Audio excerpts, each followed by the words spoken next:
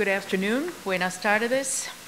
Welcome, everyone. I am delighted to welcome you to the 2010-2011 Millennium Lecture Series.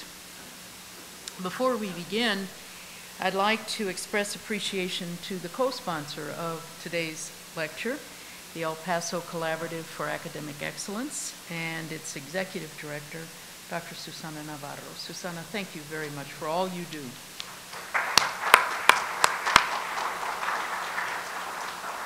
The theme of this year's Millennium Lecture Series is Issues in U.S. Public Higher Education. We've invited distinguished speakers to share with us their perspectives on such issues as closing educational achievement gaps across demographic groups, preparing a competitive 20th, 21st century workforce, serving as a catalyst for regional economic development, and developing more sustainable funding models. With us today is a very special friend of the University of Texas at El Paso, Kati Haycock, president of the Education Trust, an organization that works to boost academic achievement among students from kindergarten through college and to close the gaps between opportunity and achievement that often relegate too many low-income students and students of color to lives on the margins of American mainstream. Based in Washington, D.C., the Trust has been a powerful force in education policy since its inception in 1996. It has been described as the most important truth teller in American public education. But this organization is more than a watchdog or truth teller. It works hand in hand with educators and civic leaders to proactively transform schools and colleges into institutions that best serve all students. Kati Haycock speaks about educational improvement before thousands of educators, community and business leaders, and policymakers each year. She mentioned to me today that she actually spoke to a group not too long ago in Artesia, New Mexico. Now you have to be dedicated to your message to go all the way from the El Paso airport to Artesia, New Mexico, and we thank you for that. She has received numerous awards for her service in behalf of our nation's youth, and she serves as director on several education-related boards, including the Carnegie Foundation for the Advancement of Teaching, the New Teacher Project, and the Hunt Institute, which is Governor James Hunt in North Carolina, not Woody Hunt in El Paso, Texas. A native Californian, Kati Haycock founded and served as president of the Achievement Council, a statewide organization that provided assistance to teachers and principals in predominantly minority schools to improve student achievement. She also served as Director of Outreach and Student Affirmative Action Programs for the nine campus University of California system. Before joining the Education Trust, Haycock, Kati Haycock served as Executive Vice President of the Children's Defense Fund, the nation's largest child advocacy organization. Please join me now in extending a warm UTEP welcome to our good friend, Kati Haycock.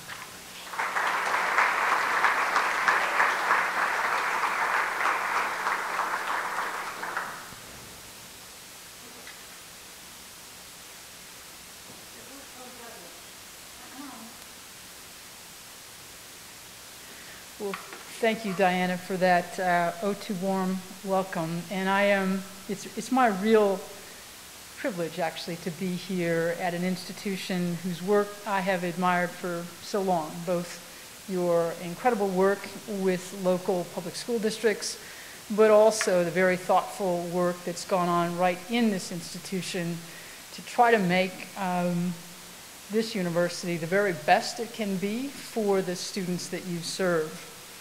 What I want to do, though, for the next, I don't know, 40 minutes or so is drag you outside of your institution. We're going to take a little walk together through some data that will help put the work you're doing here in a broader national context. Um, and just a quick word about the data before I begin, and that's I'm going to go way too fast for those of you who are numbers freaks and like to write the numbers down.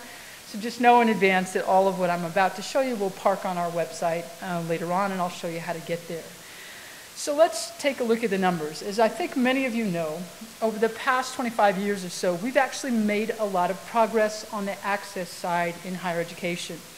Every single year of the, of the last uh, 30 or so, the number of students going on to college has actually gone up. And when you look at students um, who are graduating from high school in America today, within a year or two of graduating, about 70% of our high school graduates are now in some form of post-secondary education. And when you look at the numbers, three years out, four years out, five years out, we're very close to, uh, to 80%. The good news is that college going is going up for all groups of young Americans. This is a look at the numbers by race. As you can see, patterns generally upward. Here are the data by family income. As you can see, improvements for both low-income students and students from high-income families. But, and this is very important, but, though college going has gone up for students of color, the gains among white students, as you can see here, have been greater. Over the last 25 years or so, college going has gone up about 13 points for African Americans, about 12 points for Latinos. Meanwhile, about 22 points for white youngsters. What does that tell us? That the gap that separates students of color from white students is actually wider today than it was when we began all this 30 years ago. And though college going has gone up, uh, as I showed you for students from low income families, low income students today are still not going on to college at the rate that high income students were 30 years ago. Access, of course, isn't the only issue, too. There's a very big question of access to what? And you don't have to look at that chart very, uh, very long to see the pattern. Basically, if you look at the numbers for Hispanic and African American students, as you can see, far more concentrated in the two-year college sector and in the four-year for-profit sector far fewer in the public four-year uh, and private four-year sector. And I don't know if you've been following the recent data on for-profit uh, success rates in the for-profit sector, but it is very worrisome to see that roughly one in four African American and Hispanic students now who start in college is actually starting in the sector where they're least likely to succeed and most likely to accrue lifetime debt. And what about graduation? Those numbers, of course, aren't very pretty. This is a look at college graduation numbers um, by race for four-year colleges, and here are the numbers for two-year colleges. Again, you don't have to look at that very long to see the problem. Result, though, when you add up all of this, is that we have very different rates of degree acquisition for different groups of young Americans for every 100 white children we start with in our kindergartens nationally, somewhere around 37 or 38 end up with at least a bachelor's degree. For African Americans, the numbers are slightly more than one half that. For Hispanics, as you can see here, only about one third that.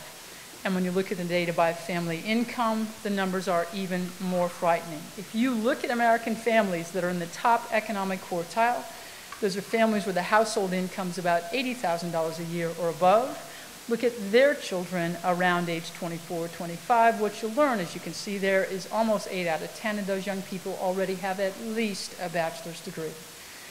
But if you look, on the other hand, American families from the bottom economic quartile, families like many of the families right here in El Paso, earning $30,000 a year or below, look at their children at that same age, what you'll learn, as you can see there, is only about 10% have that same bachelor's degree.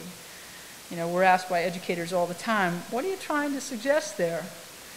The, the answer is really pretty clear. What the data suggests is that unless you and I are somehow prepared to argue that children from upper and upper middle income families are about eight times as smart as children of the poor, this is about as clear a signal as we have in American education that something's going pretty seriously wrong in these two systems of ours, K-12 and higher education because that is precisely the result we're getting at the end of the line. More, about eight times the results for children from upper middle and upper income families that we're getting for children of the poor. So that's what the numbers tell us about where we're at right now and where we've come. The question, of course, is what's going on underneath those numbers? Now, there are a heck of a lot of people within higher education who would like to believe, and like everybody else to believe, that the patterns that I just showed you are mostly a function of lousy high schools and of stingy federal and state policymakers. And it's important to say in advance that people who argue that are not entirely wrong. As I think many of you know, low income children and children of color in this country continue to be educated in schools where we spend less on their education, where we expect less from them, where we actually teach them less, and where we assign them our least well educated and least experienced teachers. Now, the truth of the matter is, in the last decade or so, we're making a little progress in attacking that problem, especially in our elementary and middle schools, as you can see here in both fourth grade reading and in fourth grade math on national exams. Results are going up for all groups of kids, and the gap separating poor kids from middle class kids and kids of color from white kids are, are narrower today than they've ever been before. But though we're making progress at the elementary and middle school level, we have not turned the corner in our high schools. Overall achievement levels at the end of high school are flat, and the gaps between groups are actually wider today than they were in 1990. So when people say to you, preparation is part of the problem, you say, yeah, you're right. Preparation is, in fact, part of the problem. It is also true when people say that government support for financial aid is part of the problem that they're not all wrong. Interestingly, over the last decade or so, both the federal and state governments have been increasing the number of dollars that are set aside for student financial aid. In fact, those increases have occurred at such a fast pace that they're actually about as much as was necessary to cover the increased cost of going on to college. But here's what changed along the way. What changed along the way was who we were spending those dollars on.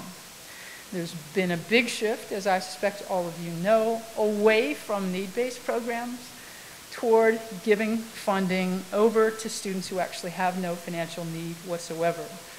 And the result of that is there's been a you know, big diminution of the buying power, power of things like the Pell Grant, which, as all of you know, have been the signature federal program to help low-income students go on to college. And if the new Congress has its way, believe you me, this is going to get a lot worse than that. So there's been problems at the federal level. But the reality is, while they diminished their commitment to the Pell Grant, what did they do? They opened up these massive tuition tax credits and tax deductions, the dollars of which go disproportionately to our most affluent families. So we're spending more at the federal level on student financial aid, but more of those dollars are now going to students who have no financial need whatsoever. And the same thing is true of state grants. Basically, what states are doing across the country is diminishing them, the number of their dollars they're spending on need-based aid, increasing the number of dollars that they're spending on so-called merit aids. What you end up with is programs like for example, the Hope Scholarship in the state of Georgia, where you have poor people buying lottery tickets to send the children of rich people on to college. Not exactly a smart uh, public policy. So, in fact, not only is preparation part of the problem, but so too is government aid. And it's easy in higher ed to point to these two problems and say, see, that's what's going on. That's why we're having less success in both, on both the access side and the success side for low-income students and students of color. What that misses, though, is the fact that colleges and universities are themselves, it turns out, very important actors in this drama of shrinking opportunity in this country as well. For one thing, as I suspect all of you know, most institutions of higher ed, especially our richest institutions, but most institutions have something called institutional aid. Those are dollars for financial aid that they decide how to spend. They decide who gets them, right? And sadly, when you look at the trends in institutional aid, what you see is the transition from institutional aid for the students who most needed it toward institutional aid for the students who need it least, right? who actually don't need it at all, has been more pronounced than the, than the transition in either federal or state aid. This is a look we did a few years ago. We're in the process of updating, but basically what you see in institutional aid, these are private institutions. Over that eight-year period, the number of dollars they spent on low-income students went up by about $1,700 per student. Meanwhile, when you look at students from the highest income families, over that same period of time, their investment went up about $3,500 per student. But sadly, even in the public sector, though the dollar amounts are smaller, the trends are exactly the same. We've been making much bigger increases in dollars for students from high income families than we've been making in students for, from low income families. And that, by the way, is true even in our richest, most prestigious institutions, our public flagships and other public research extensive universities. These institutions, as I hardly need to tell you, are the richest institutions, uh, public institutions in America. They, in fact, their students get more money in student, student financial aid from them than they do from either the federal or state government. What that means is that had they chosen to do so, they could have used those resources to shield students from low-income families from the effects of the fast rising cost of going on to college. The sad truth, however, is that they chose not to. Instead, what did they do? Hugely increased their spending on students from the most affluent families. Back in 1995, these institutions were spending together about $76 million on students from families above $80,000 a year. Today, they're spending 761 million, tenfold increase in expenditures on students from the highest income families those institutions collectively today are actually spending about the same amount on students from the highest income families, those above $115,000 a year, as they're spending on students from the lowest income families. In what universe, I would ask, does that make sense? So it's not all about student preparation or about what government does. The choices that colleges make about what to do with the resources they have also play a hugely important role in determining who comes to them uh, and who doesn't. Moreover, the same is true, it turns out, about college success. What colleges do day in, day out also turns out to be very important in whether students actually graduate with the degrees they're seeking or not. Now, warning, for the next few moments, I'm going to focus on the dread IPEDS graduation rates. I know you all think they're flawed, and they, in fact, don't tell us everything. But they do tell us, by and large, about how institutions are doing with essentially their easiest students, right? The ones who come full-time right out of high school. Mm-hmm. so what do you learn when you look at that source? You learn a couple of things. When you ask the question nationally, well, what proportion of the kids who enter college, four-year colleges, right out of high school, and they attend full-time, what proportion of those get a four-year degree in four years? Answer to that is 36%. When you extend the data out to six years of entry, that proportion rises to about 57%. And if in fact you go beyond these cohort data and look at graduation from any institution, the numbers grow to about two-thirds. So of the students who start out full-time, about two-thirds um, end up with a degree within six years. But that's the average. What's important to know is that underneath that average are institutions with very different success rates. Um, this, in fact, is a, is a display of graduation rates for every institution in America, public and private. What do you see when you take a look? Well, down there on the left-hand side are a set of colleges and universities in this country that consistently, I mean consistently, graduate fewer than 15%, in some cases fewer than 10%, in some cases fewer than 5% of their students with a degree within six years. Over on the right-hand side are a set of institutions that consistently get more than 80%, more than 85%, sometimes more than 90% through in six years. Now, it will not surprise you to know that some of the differences between those institutions are clearly attributable to differences in student preparation or in institutional mission. In other words, institutions that are getting those high success rates are by and large very selective, right? They're very well-prepared students, very few poor students, very few students of color. Not surprising they get quite high graduation rates. Down on the other side, where you saw those very low graduation rates, you have lots of ill-prepared students, many of them poor, um, and struggling with lots of other burdens. So some of this, pure and simply, is about that. And in fact, if you take all the things that we know about institutions and students and can measure, you can find a way to explain about 70% of the differences among institutions in terms of their student success. Which again leads people to believe that the only way to improve student success is to what? Send us better prepared students. But it turns out that when you dig underneath those averages, one thing is very clear that some colleges in America are far more successful than you would guess given the statistics on who they serve. Why is that important? Well, when we started our work, um, and I think Susana will remember uh, back in those days, we used to get higher ed and K-12 people together and we would say, you know, for the first conversation, bring your data, right? Well, the K-12 people kind of knew what to do, right? Their data had been out in public for a long time, and so they bring their numbers in, they bring their grad rates, they bring their achievement data. And we'd say that, ask the same thing to the college people, and they go, data? What do you mean data? And we said, well, why don't you start by bringing in your graduation rate data? So they dutifully go get it.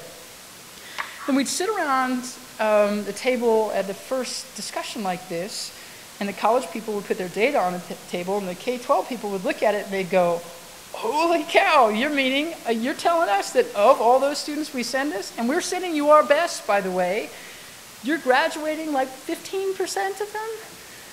And the higher ed people would all say the same thing. They'd say, yeah, but that's kind of about what institutions elsewhere in the country that serve similar students get. And the first time or second time we heard that, we thought, oh, okay. The 460th time we heard that, we thought, hmm, I wonder if that's true. We used to hear that a lot on the K-12 side, right? You'd go, you'd visit an urban school, you'd ask the principal to look at the data, they'd have a proficiency rate of like 2%, and you'd say, oh my God, only 2% of your kids are proficient, and they'd all say the same thing. They'd say, oh, well, that's kind of about how other urban schools are. And they don't say that anymore because they know it's not true. And our question was, well, is it true in higher ed? So we ended up building a website that some of you have seen called College Results Online that basically takes all the measurable stuff we know about colleges and puts them together. And you can go on that and you can find the grad rates and other uh, information for any institution you want, but you can also see how that institution does compared to the 15 or 25 institutions most like it. In other words, it serve roughly the same kinds of students with roughly the same kinds of resources. So again, what do you learn when you do that? You learn that some institutions that have exactly the same mission, exactly the same focus, and serve exactly the same kind of students get far better results than others. Let me just give you a couple of examples. These are institutions that many of you would recognize. These are big, highly selective, mostly flagship institutions very large, as you can see, very well prepared students, very few poor kids, very few students of color. So you would guess, since they have roughly the same kind of students, roughly the same kind of resources, and roughly the same mission, they would have pretty much the same success rates, right? We'll take a look at this. You got Penn State University up here that consistently gets 84, 85, sometimes 86% of its students through with a degree within six years. University of Minnesota that serves exactly the same kind of students, consistently gets somewhere between 55, 56, mm, low 60s. And when you look at the data on underrepresented minorities, you see very similar differences as well. Differences not explainable by the students, but rather by other differences, right? These are two other institutions, Florida State University, University of Arizona, that also serve very similar kinds of students. Very similar in terms of selectivity, very similar in terms of size, very similar in terms of the poor kids and, and kids of color served. But when you look at their student success rates, look at the difference, right? And rates for underrepresented minorities, very different as well. If you look at Florida State, Students of color actually graduate at rates slightly higher than white students. University of Arizona, they're significantly lower. Another two institutions, University of California, Riverside, University of Illinois, Chicago, very similar institutions, very similar size. UCR actually has more poor students more students of color, but has a significantly higher success rate than does University of Illinois, Chicago, and especially for students of color. It's not just research universities, though. These are master's level institutions. Again, very similar selectivity, very similar size, very similar numbers of poor students, but very different rates of success from the University of Northern Iowa. It consistently gets about two-thirds of its students through with a degree in six years. Tennessee Tech and University of Wisconsin-Whitewater, considerably lower. And one final set. These are historically black colleges that some of you may recognize. These institutions, as you can see, Um, their students are, are far less well prepared. These are much smaller institutions. The vast majority of their students are poor. Yet, though they have very similar mission and very similar students, they have, as you can see here, wildly different rates of success from Elizabeth City in North Carolina that consistently gets half or more of its students through with a degree in six years to Coppin State, not far from where I live, that consistently gets through than 20% of its students through a degree in six years. so the bottom line, I hope is pretty clear. So yes, we have to keep working to improve our high schools, and we have to keep working, especially right now, to convince government that need-based aid is what it's got to invest in. But the truth of the matter is we've also got to focus on improving what happens in our colleges and universities as well. We also, and those of you who are numbers people, know that we need to agree on a sort of broader set of metrics for evaluating institutional contributions to communities and states and for evaluating progress. The IPEDS grad rates, in other words, and I don't need to tell you, are not sufficient. So we've been working, and I'm not going to spend a lot of time on this, but I, I, want you to know there's been a lot of work done in the last couple of years to try to develop a set of metrics that better assess what institutions are doing. So yeah, you still want to look at um, success rates, but you also want to look at service to state and community. So we're looking on the access side at both freshmen and transfers and asking how well do the students that these institutions are admitting reflect the communities from which they're coming. On the success side, we're wanting to ask the question, how well do low-income students and students of color fare in terms of getting a degree compared to their non-low income and white counterparts? And on the, what we call access and success, you're wanting to look at graduates. So what do those graduates look like each year compared to the communities and states from which they come? When you look at metrics like that, a rating of one means an institution is serving its state or its community well. A rating that's more than one says you're doing a bang up job, even better, way better than most. A rating of less than one um, means there's still work to be done. So when you look at UTEP through that lens, and thank you, Roy, for the help with these data, um, what do you learn? So when you look at this institution, the freshmen that you admit compared to the freshmen um, or, or the high school graduates in the state of Texas, what you see, of course, is something you already know, and that is you are serving um, low-income students uh, and students of color in the state of Texas far more uh, than would be expected by their their, um, uh, their portion of the state pool. Now, you want to ask a second question, and that is, so how are we doing compared to the community from which we're drawing more of our students? And there, the numbers are also very strong. Low-income students are actually represented in your freshman class at a slightly higher rate than they are in the graduating class of local high schools. Students of color at a slightly lower rate but uh, a much better rate, frankly, than in most institutions. So what happens when you look at success? When you look at the numbers for so-called underrepresented minorities, in other words, Hispanics, African Americans, and Native Americans compared to their white counterparts, your rate ratio here, as you can see, is almost exactly one. In other words, you still have a small gap um, between your uh, students of color and your white students, but it's very small.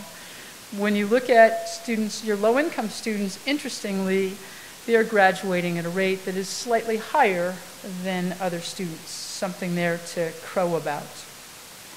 So when you look at your graduates compared to the state as a whole, uh, of course, you're graduating far more, especially Hispanic students, than is true of the state as a whole, and far more students from low-income families than you would expect, again, looking at the state as a whole. But even when you look at your region, as you can see here, also very strong numbers. Students of color slightly underrepresented in your graduating class compared to the high school graduates in your community. Um, uh, low-income students actually slightly overrepresented in that class. So a lot there to be proud of. I, I could bore you with numbers from lots of other colleges and you would mostly see ratios that are down in the 0.6 and 0.7, and people are feeling good about those. So when you ask the question, is this institution serving the community that, um, uh, that in which you're located, what's very clear here is the hard work that you've done over the last decade or two to be an institution that truly serves its student population um, is very, very clear in the data. Now, don't, don't get me wrong here. It doesn't mean you don't want to get those overall success rates up, right? And I know this is something you feel strongly about, both your overall graduation rates and your graduation rates for Latinos. Those stronger than many institutions are, I know, not as strong as you want them to be or as your community needs them to be. So what I want to do is share with you some of what we're learning from the institutions that seem to be out in front in both moving overall success rates ahead, but most particularly in closing gaps between different groups of students.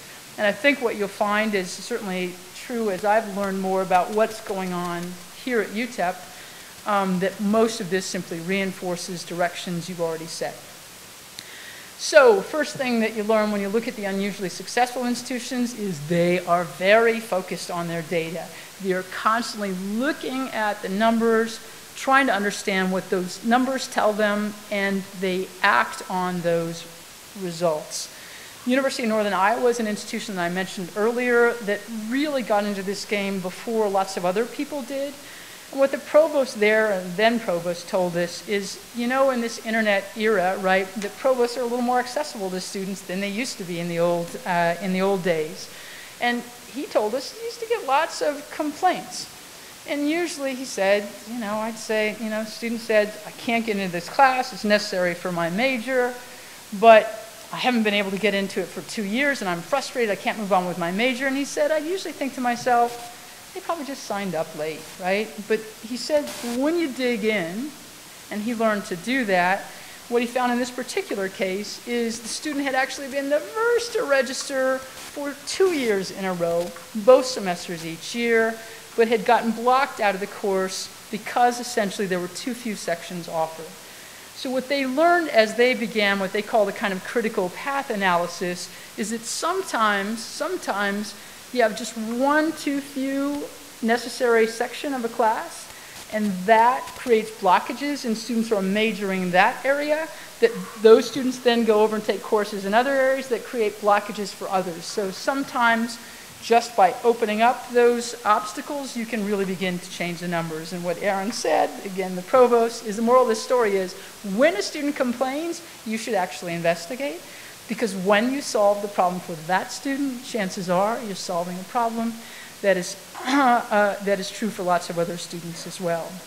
And let me be clear here, and this is something I know many of you know, institutions that successfully improve their four-year or their five-year six, or six-year graduation rates don't just focus on that, right?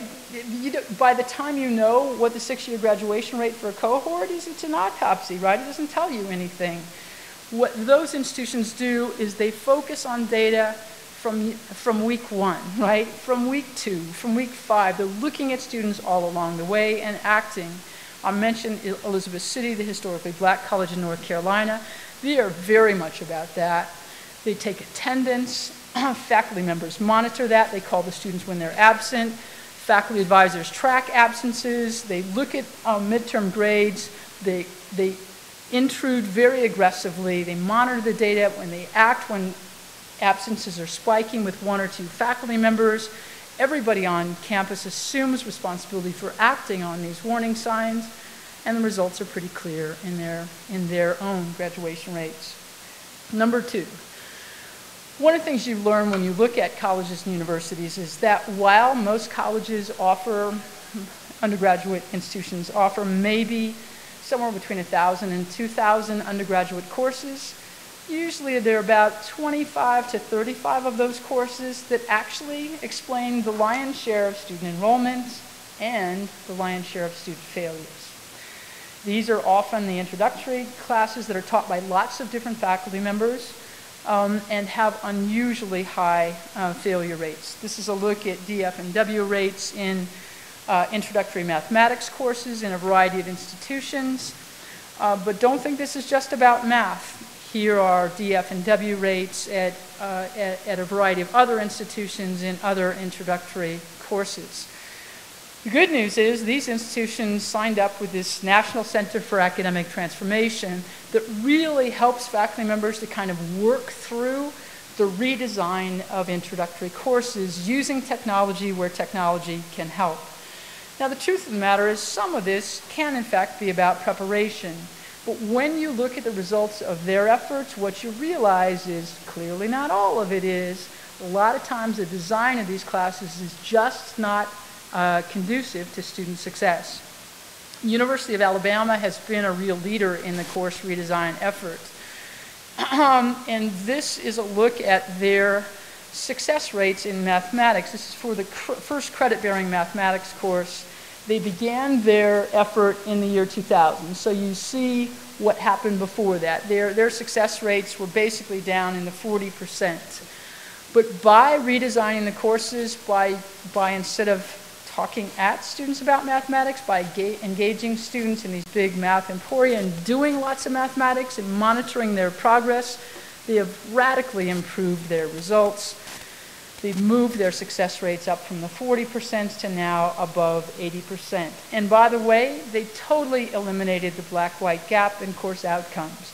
Their African American students continue to enter University of Alabama with somewhat weaker skills in mathematics, but because the redesigned course is so focused on fixing those problems, they actually have totally eliminated any gap in course outcomes.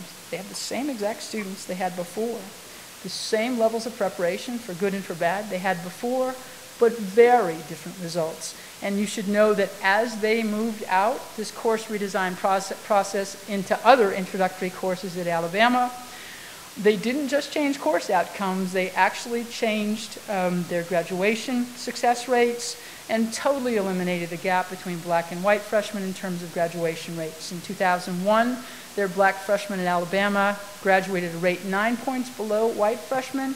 By the class of 2006, same students were graduating at a rate two points higher than white students. So again, it begins to show you what a really focused effort to take on those big introductory courses can do when you actually follow through. Third, one of the things we're learning from the more successful institutions is they don't hesitate to demand and require of students the things the rest of us just advise them to do. Okay, these are two institutions that, that have a lot in common. Um, San Diego State University and University of Houston. Similar institutions, similar enrollment percentages of Latinos, similar selectivity. Back in 2002, you can see the graduation rates for Latinos in those two institutions.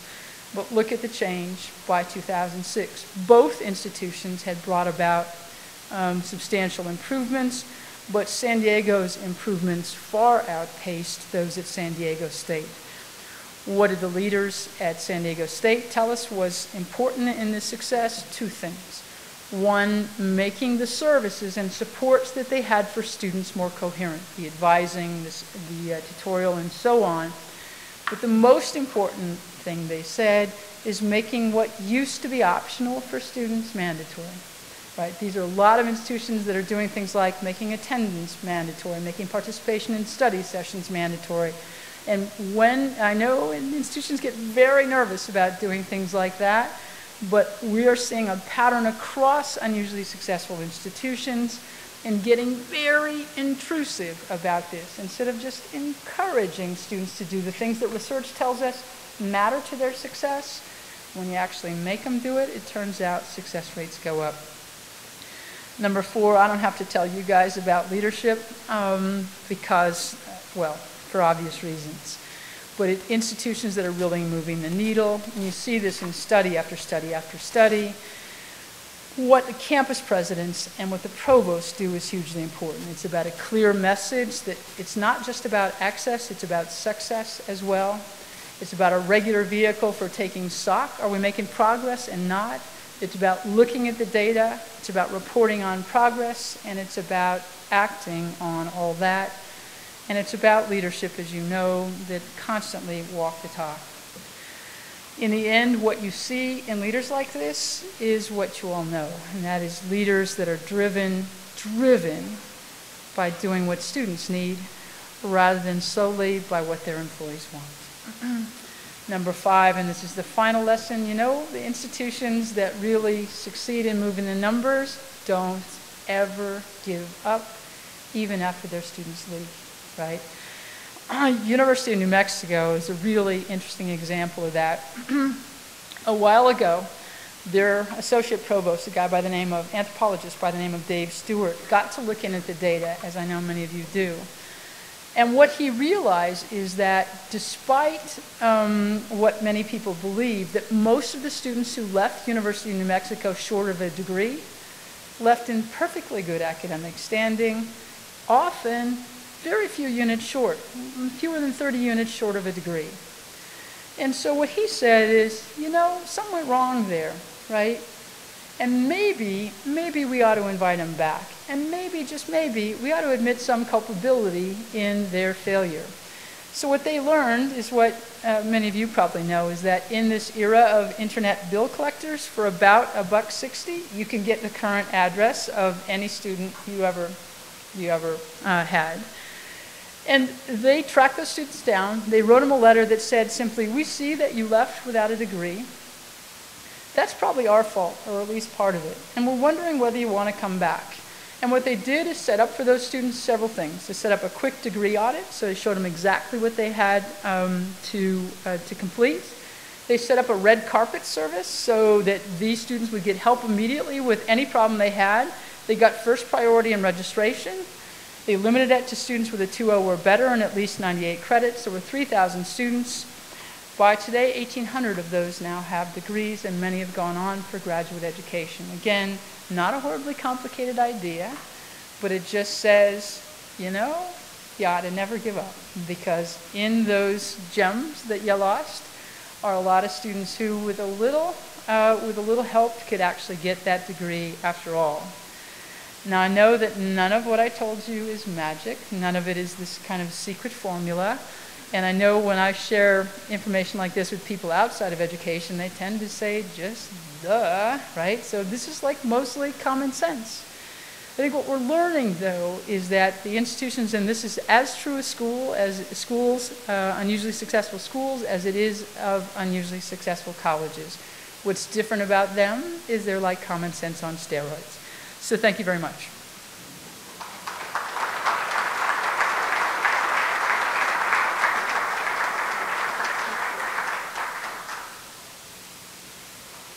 Okay, thank you very much, Kati, for, as always, a, a thought-provoking presentation. Are there any questions anyone would like to uh, ask? If you do, I'd like for you to go to the microphone so that everybody can hear you. It's always hard to be first. Anybody?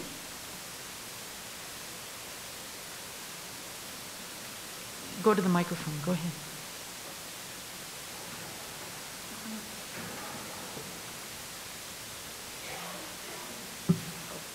I didn't get up for, to the mic because I didn't think I need one. But anyway, um, when you c- combine the different uh, explanations that you gave for the reasons why um, there are these gaps, um, you know, the, the stingy governments, the poor high schools, and so forth.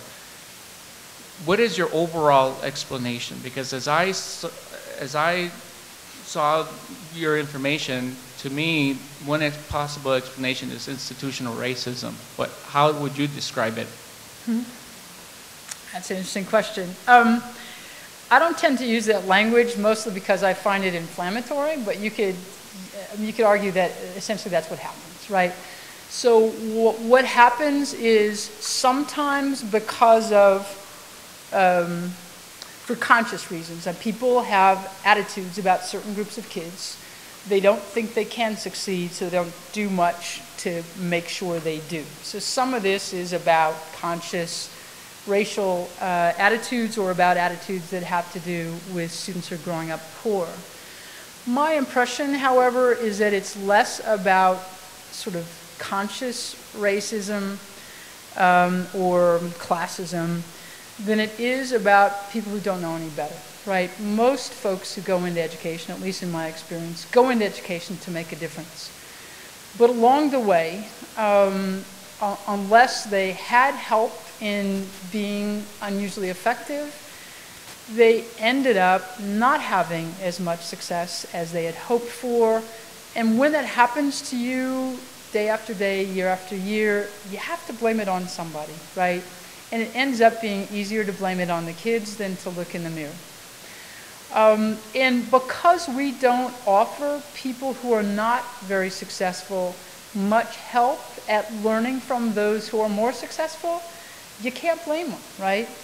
Um, we don't actually do much to understand why is it that some teachers in K-12 or faculty members in higher education produce extraordinary learning outcomes even for students who come in ill-prepared and others don't. Why is that? But more important, what do they do? What exactly explains the success that some of us have and that others don't? And how could we go about helping the people who are not as successful to learn to be that so we can get out of this kind of point over there and into looking at the mirror? Sure.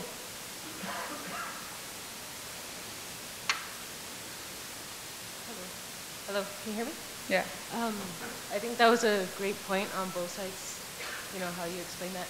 Um, on that same note, why do you think that higher education is sort of afraid to be a little more exclusive? Obviously, um, not everyone even desires, much less needs to get higher education like a, a bachelor's or higher.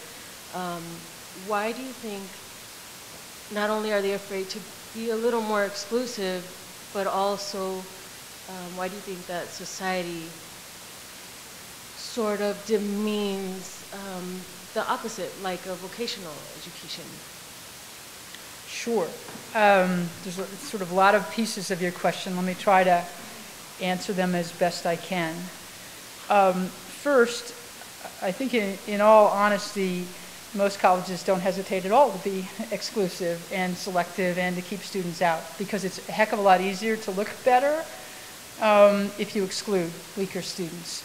And the vast majority of colleges in this country um, have been doing exactly that and more of that every year in order to drive their rankings up on uh, things like U.S. News and World Report because you don't get you don't get any points right for serving low-income students well. You get all the points for being more and more selective. Even though we know that turning a student with an 18 ACT into a bachelor's degree is a lot harder work than turning somebody with a 30 ACT. We don't give anybody any points for that. So I would take issue with what you said initially, and that is most institutions actually are very comfortable excluding lots of people. But let me sort of talk about the broader economic situation. Uh, the, the reality is the way our economy is going, both here in the US and internationally, students who don't have at least some post-secondary education, and I mean that by that a post-secondary education degree or, creden- or, or credential, are essentially toast.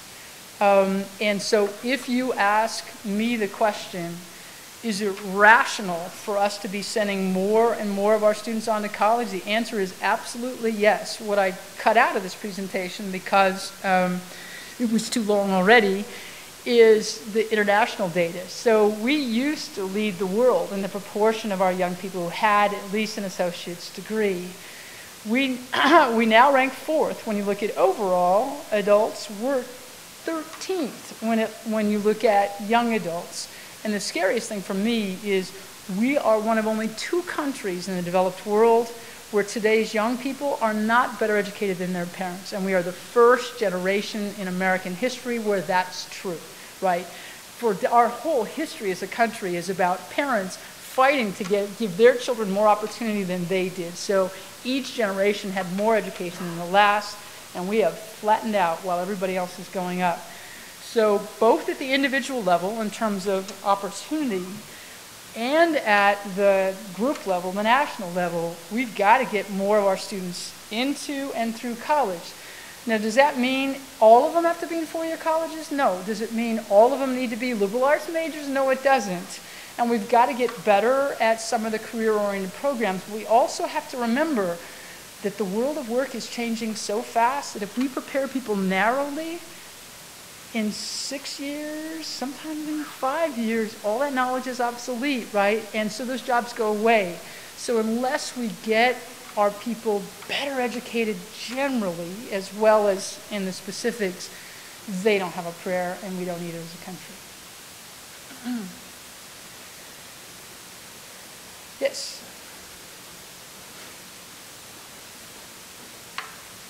Good evening. Uh, I'm uh, Joseph Escobar. I'm a, a, student here in this uh, prestigious educational institution. Yes.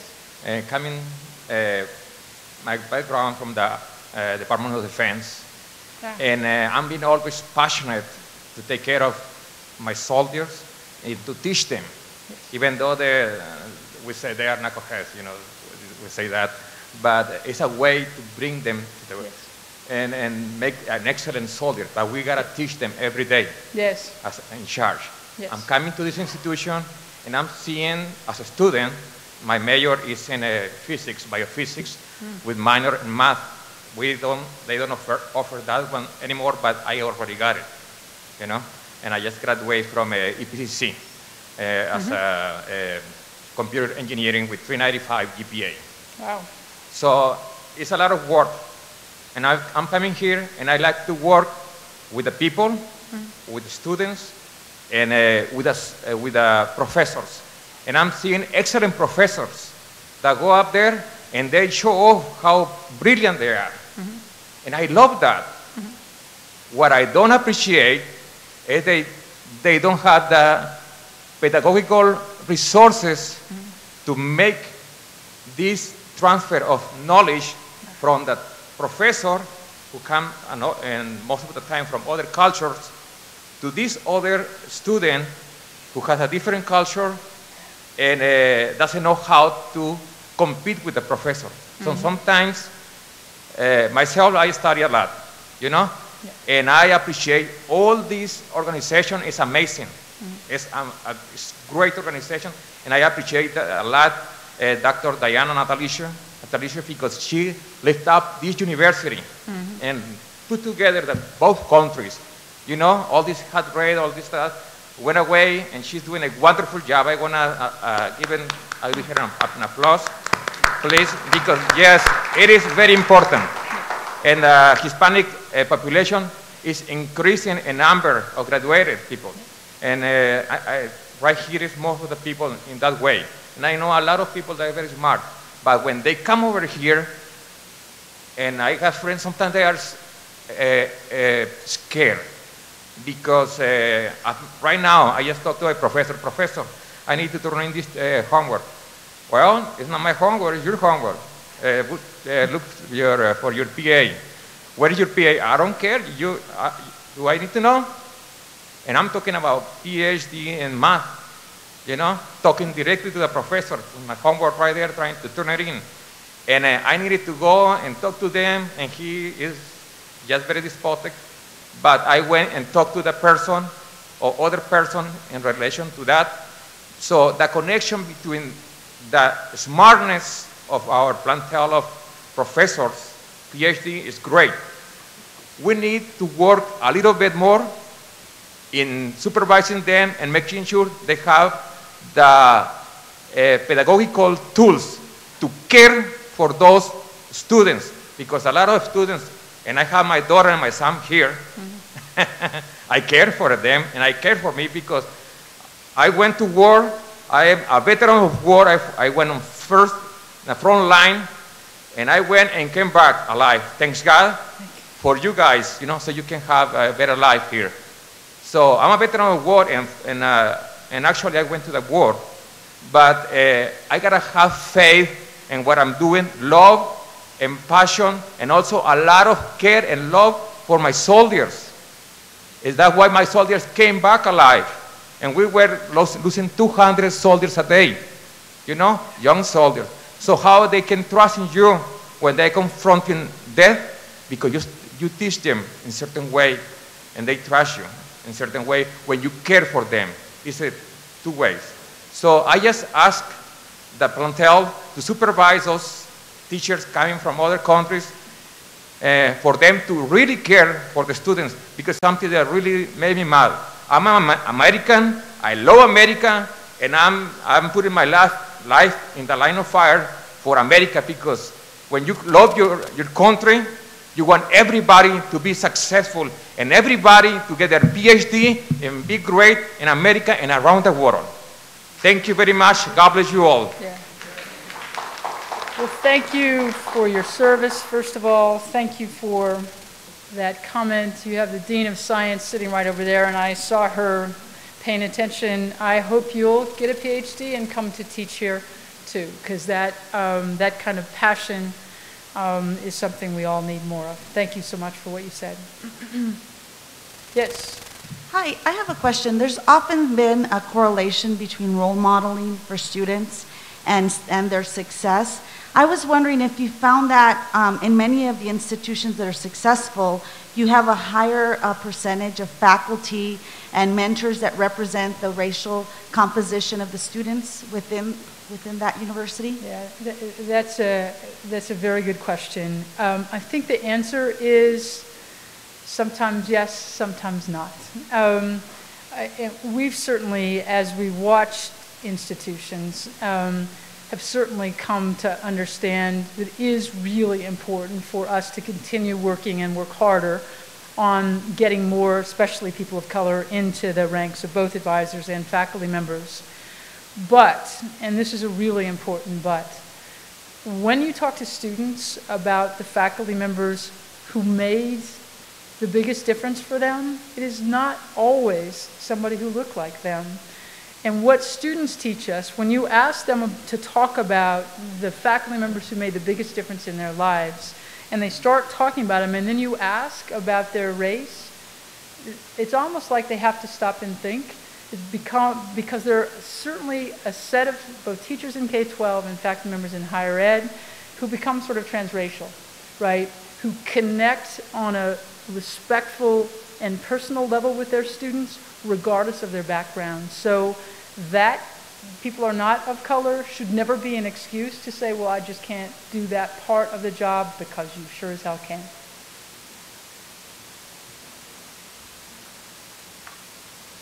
I'm wondering if in your comparative research, did you identify um, any of these institutions that had freshman preparation programs before the freshman class entered, like summer bridge programs, and did you come across that and were they effective? Uh, well, uh, that's a really good question, and, and uh, the problem, uh, first of all, we're, we're by no means the only experts in this. We're really uh, digging as fast as we can, but one of the things that's, one of the reasons it's hard to answer that question is almost nobody doesn't have a summer bridge program. Almost nobody doesn't have a student success course anymore. Almost nobody doesn't have some sort of uh, courses put together. So it's a little hard to tease out um, uh, what part of this actually works and what doesn't, but I'll tell you what we've come to believe, and even people who run things like the freshman year experience, who believe in their approach, and people who run the learning communities initiatives and believe in their approach will always tell you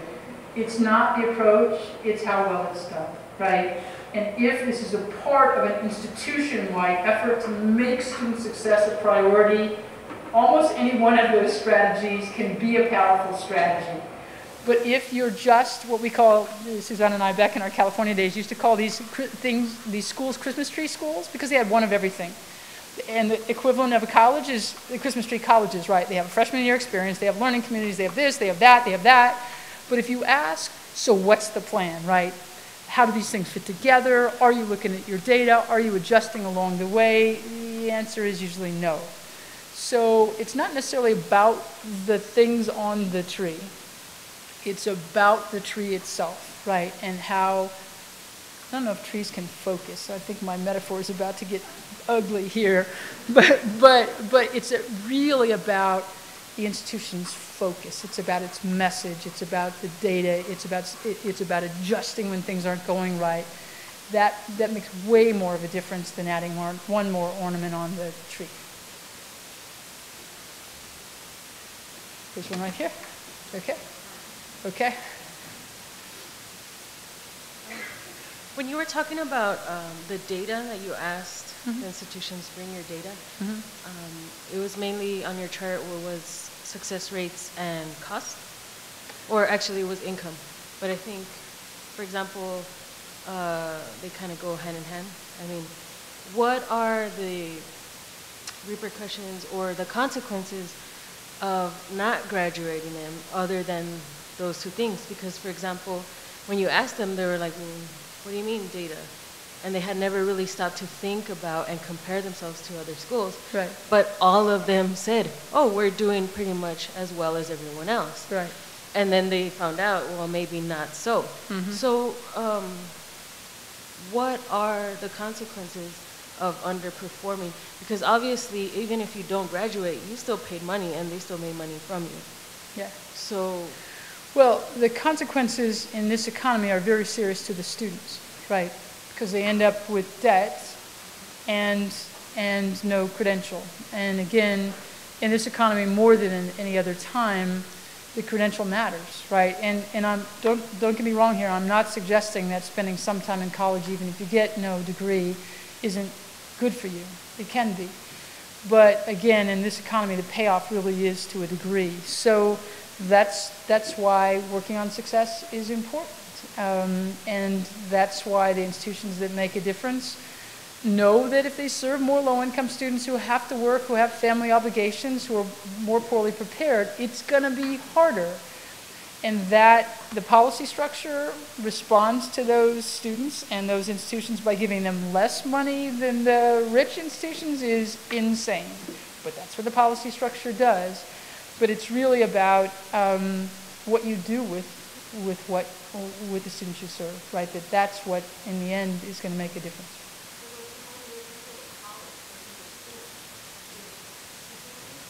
Yeah.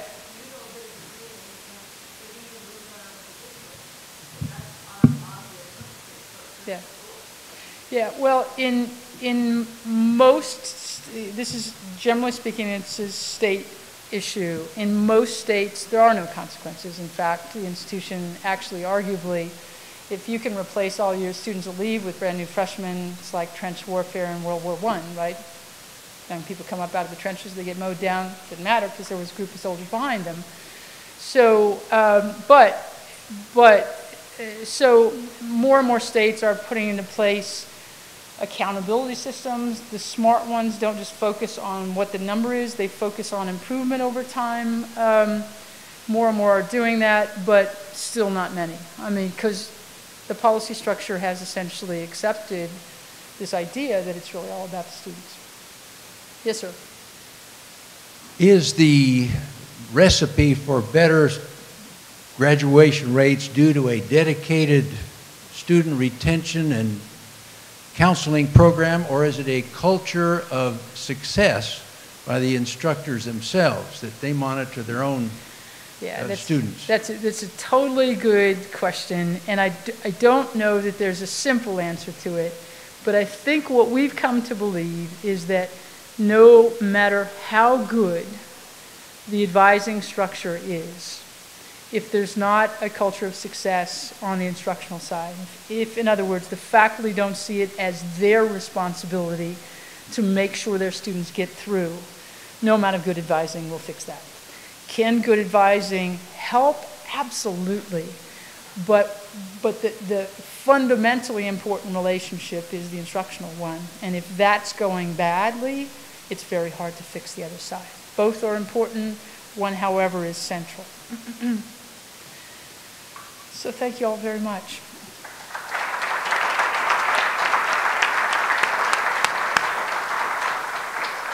Thank you again, Kati, for just a great presentation. Always appreciate hearing you, no matter how many times. Uh, We'll now have a reception out in the lobby area, and there'll be an opportunity to speak with Kati and each other, and perhaps you'll spark some really exciting new ideas. Thanks for coming.